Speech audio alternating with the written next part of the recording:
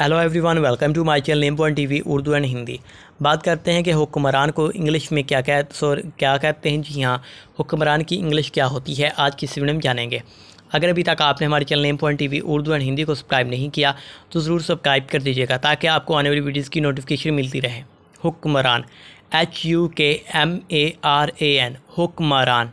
हुक्मरान को इंग्लिश में रूलर कहते हैं। हुक्मरान को इंग्लिश में रूलर कहते हैं R U L E R ruler के ये स्पेलिंग्स होते हैं। लाइक